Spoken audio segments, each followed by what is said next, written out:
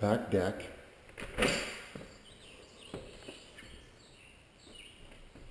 And patio area.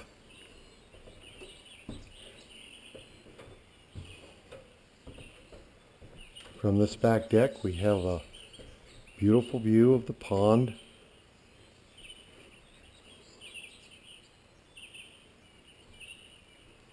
In the backyard.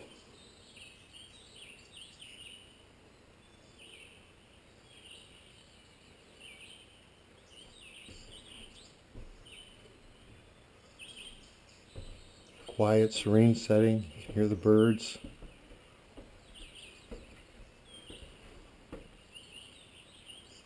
and the other forest animals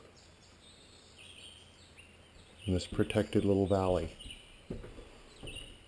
We'll move back into the house.